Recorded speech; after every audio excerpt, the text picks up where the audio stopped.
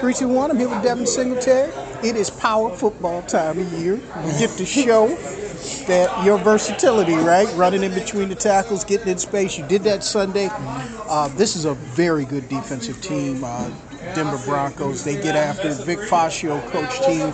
Uh, what are you seeing on film from them? Um, like you said, they definitely get after it. Uh, they front, they front four. They something serious. So um, we definitely gonna have to work them guys. And um, they linebackers been playing well too. So um, we gonna have to bring, we gonna have to bring it.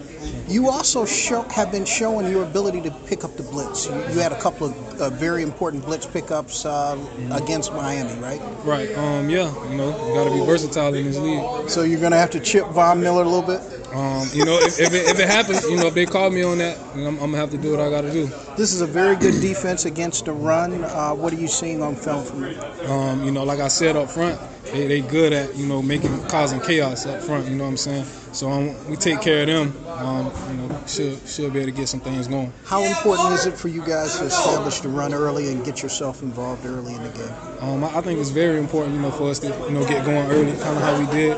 You know, get going early, get get rolling, you know, keep it going. But it's gonna be important for us to get going early. Power football time of year, right? Yes, sir. All right, thanks, Devin Singletary. Buffalo Bills. Hey, what's happening? Yeah, coming in